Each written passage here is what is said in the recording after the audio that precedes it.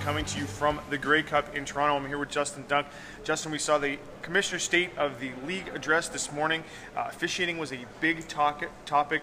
Uh, what was your take? What were your takeaways? Well, I liked how Orridge sort of owned it and said that they have made mistakes and they're going to review the reviews in terms of all the review process that we saw this year. But finally, I think we saw that a little bit owning the mistakes and wanting to make it better. I thought it was less so than the canned answers we've seen in the past. Yeah, I, I think there was some acknowledgement. He talked about the fact that he felt, feels that officiating is getting better in the league, which I think is a tough sell in certain markets. But he did say that they are going to talk about replay, and I think that given the mistakes we saw in the Ticat game, the other mistakes we saw during the year, and the fact that the game has been slowed down, and that's hurt the quality of the game, he acknowledged that as well. I think that they are going to try and make some progress on that front. Another issue uh, that came up was the issue of concussions, and one of the interesting things that Orridge said was that he, the position of the league is that there's still no conclusive evidence that there's a link between football and concussions.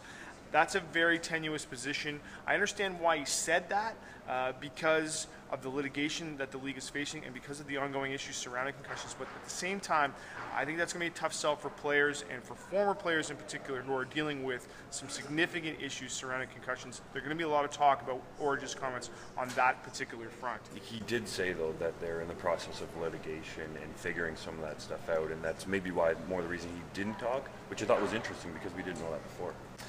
What else did you get out of this uh, this meeting or this discussion? Well, for me, I sort of took away the expansion talk. He said it's not an active file, but there's open consideration. I just really feel like if we can get to 10 teams in this league somehow, Drew, make it balanced, it would be nice, and we could keep the divisions. Maybe that would end all that talk. He did say the league was open for business. He also said, like you said, not an open file. So I think that the issue for expansion is still stadium, right? Where in the league, where in this country is there a viable stadium to put a 10th team? I agree that it's something that the fans want, something that you want, uh, but I don't see it on the horizon in the short term because there are so, still some issues to be solved with some of the existing franchises. And this was another topic of discussion. Orridge was talked a lot about how the league has made progress on social media and on its various platforms. But given the challenges of the Argonauts in this market, given the challenges that this Grey Cup is facing, uh, some of those messages rang a little hollow. The Argos note to me was interesting that he talked about them starting in the end zone. You can't technically start drive in the end zone, but anyways, and they got the ball. they got the ball out to the 35, which I tend to agree with. We knew it was going to be a slow build, Drew. You've talked about that as well, and I think there is sort of a little bit of positive momentum here, even though people want to talk about how bad of a season it was on the field. Well, the, this Grey Cup will be interesting. It's only Friday, so there's still the big days ahead. Friday and Saturday are generally the big days, and obviously the game on Sunday.